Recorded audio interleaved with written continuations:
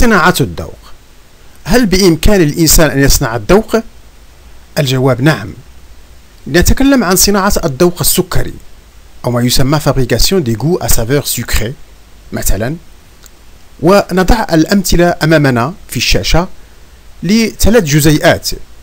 الجزيء الأول هو السكرين الجزيء الثاني هو السكرالوز في الوسط ثم الأسبرتام كجزيء ثالث في الأسفل. ونضع السؤال التالي كذلك ما هو العامل المشترك التي تشترك فيه هذه الجزيئات الثلاثة؟ هل هي تنتمي إلى السكريات؟ appartient-elle au sucre أظن إذا رأينا السكرين فنرى أن وجود هناك ذرات الأزوت بالأزرق هناك ذرات للكبريت بالأصفر وأظن أن السكريات لا تقتسم آه، وجود هذه الذرات. هناك كربون هناك أكسجين لكن الكبريت والأزوت فهو آه، لا يوجد في السكريات. هل تنتمي هذه الجزيئات إلى البروتينات؟ آه، أظن إذا رأينا الجزيء الأول والثاني فلا. أما الجزيء الثالث فنجد حمض الأسبارتيك وحمض الفيالين كما يظهر في الأسفل مع وجود ميثانول مرتبط بالفينالين هل هي مضافات للأغذية؟ نعم.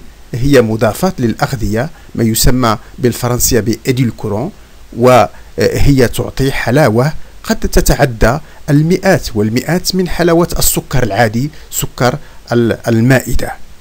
هي بارتداد صناعية. إذا أخذنا مثل الأسبرتام في الأسفل آه، هي كذلك سكريات اصطناعية. إذا أخذنا المثل الأول والمثل الثاني السكرين والسكرالوز آه، لأنهم يحتوون على مواد آه، مثل الأزوت في السكرين والكبريت كذلك وكذلك الكلور مادة الكلور الموجودة هنا بالأخضر في السكرالوز في الشاشة يظهر الأسبرتام الذي سبق وأن تكلمنا عنه فهو يتكون من حمضين أمينيين.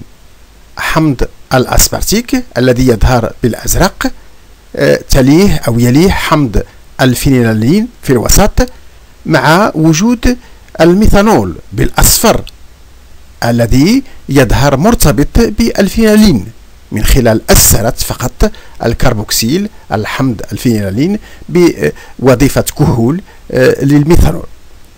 بطبيعة الحال هذا المضاف السكري يعطي آه، كما سبق الذكر حلاوة أو مذاق سكري مرتفع يفوق مذاق السكر العادي بعدة مرات ويمكن استعماله لمرضى السكري لأنه لا يغير محتوى السكر في الدم.